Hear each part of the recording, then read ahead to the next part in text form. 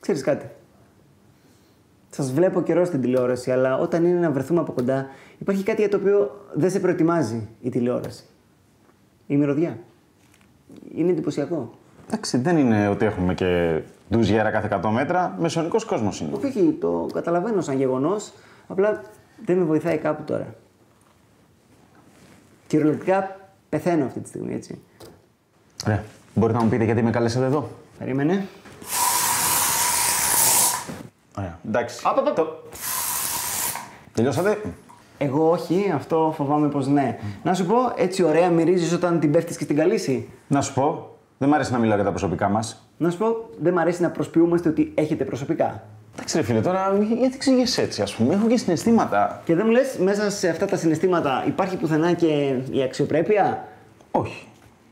Κοίτα, ξέρεις γιατί σε φέραμε εδώ. Ψάχνουμε άτομα να σκοτώσουμε για την επόμενη σεζόν. Και η αλήθεια είναι ότι δεν θέλουμε να σε σκοτώσουμε. Σοβαρά. Φυσικά και όχι. Προφανώς θέλουμε να σε σκοτώσουμε. Απλά δεν είμαστε 100% σίγουροι. Αυτή τη στιγμή είμαστε ανάμεσα σε σένα και σε ένα από τα σκυλιά του Μπόλτον. Μέχρι στιγμής σε νικάει σχεδόν σε κάθε κατηγορία και μεταξύ μας μυρίζει για καλύτερα. Επίσης. Ναι, αυτός φέρνει πίσω και τα μπαλάκια. Να πάω να το φέρω. Αν χρειάζεται να ρωτήσεις, έχεις ήδη αποτύχει. Λυπάμαι. Ωραία. Αλλά εγώ όμως είμαι πιστός στην βασίλισσά μου. Έχει αυτό στη δικιά μου αφοσίωση; Μιλάμε για σκύλο. Στην αφοσίωση βρήκες να τον συναγωνιστείς. Σκυλιά είναι. Είναι αφοσιωμένα. Αυτό κάνουν. Αυτή είναι η φάση τους. Συναγωνίζουν τον και στο γάβγισμα αν είναι. Δεν κατάλαβα. Θέλετε να βγήσω.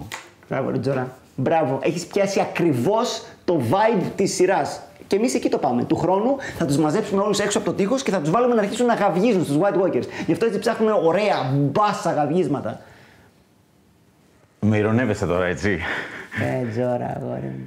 Όχι, όχι, εντάξει, το ξέρω, το ξέρω, το ξέρω. Απλά ήθελα να διπλοσεκάρω. Ρε παιδάκι μου είναι αυτό που λένε. Φίλα τα ρούχα σου για να έχεις τα μισά.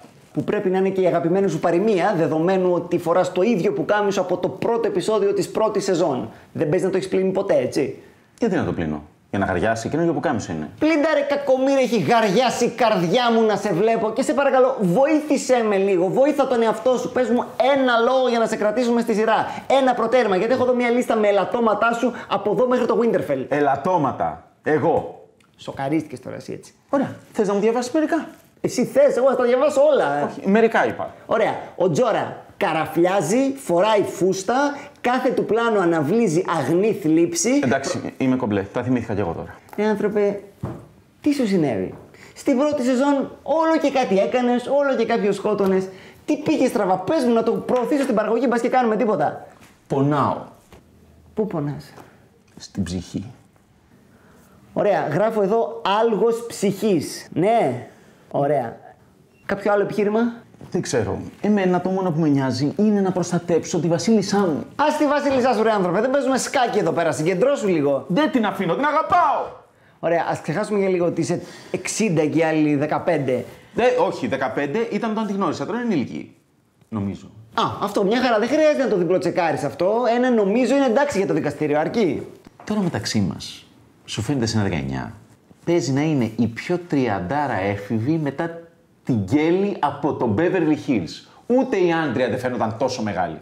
Ε, βέβαια. Πού να προλάβεις να κάνεις οτιδήποτε στη σειρά, κάθεσαι και κάνεις μαραθώνιο Beverly Hills. Να σου πω τουλάχιστον, με ποιον ήσουν, Μπράντον ή Ντίλαν. Ε, με το Μπράντο βέβαια, αφού ήταν το καλό παιδί. Να ξέρεις, ο σκύλος διάλεξε Ντίλαν. Λυπάμαι. Όπως και να έχει. Λίγη αξιοπρέπεια, ρε Σιτζόρα. Ωραία, σου έριξε άκυρο μία μαθήτρια λυκείου. Σε έφτιασε στο τρίτο διάλειμμα. Ψηλά το κεφάλι. Μην τα παρατάς. Κάνε κάτι στη σειρά, κάτι δυναμικό, κάτι που να έχει ενδιαφέρον. Ωραία, εντάξει, δεν είναι μόνο ο έρωτας με την καλύση. Έχω τώρα και αυτή την ιστορία με την θανατηφόρα αρρώστια που κόλλησα φέτος. Ε, αυτό που το πας. Άρε Τζόρα, πώς με ξέρεις, ξέρεις τι θέλω να ακούς ακριβώς για να σε κρατήσω στη σειρά. Γιατί τι θέλει να δει ο κόσμος στο Game of Thrones, αρρωστιάριδες 60χρονου με τριχόπτωση. Ωραία, εντάξει, τώρα τελευταία πάει καλύτερα. Έχει εξαπλωθεί παντού, πράγμα που σημαίνει ότι πουλώνεται. Να, κοίτα. Όνα σου! Αυτό είναι που είναι καλύτερα! Αυτό είναι σαν την αποξηραμένη λίμνη της κοπαίδα. Εντάξει, δεν είναι για τόσο χάλια. Τι ήταν και τόσο χάλια, είσαι σαν το Thing από τους Fantastic Four. Να σου πω, δοκίμασες καθόλου να το ξύζεις πω φύγει και είναι απλά από τη μαζεμένη βρώμα σου. Όχι καλέ, απλά πεθαίνω. Να σου πω, σε κανένα γιατρό πηγέ. Μπα, όχι. Εγώ ξέρεις τι κάνω. Σηκώνω το μανίκι, τον κοιτάζω με ένα έτσι ανήσυχο ύφος και μετά το ξανακατεβάζω. Δεν δουλεύει, Αλλά εγώ το κάνω. Ε, έκανες ό,τι ήταν να κάνεις πλέον είσαι στα χέρια του Θεού. Ωραία, λοιπόν, συνοψίζοντας, είσαι 60 χρονών, φοράς φούστες, σε φτύνει μια 19χρονη την οποία κυνηγάς από τα 15. Είσαι ο άρχοντας του friend zone. Έχεις μια συχαμερή θανατηφόρα ασθένεια και το άλγος ψυχής. Το έχω σημειώσει εδώ από πριν. Κάτι άλλο; Α, επίσης χάνω και τα μαλλιά μου. Σε ευχαριστώ, ρε Τζόρα. Το είχα ξεχάσει αυτό. Ωραία. Θα σε πάρουμε εμείς τηλέφωνο λοιπόν για την επόμενη σεζόν. Δεν σας έχω αφήσει το τηλέφωνό μου. Θα το βρούμε εμείς, μην φοβάσαι.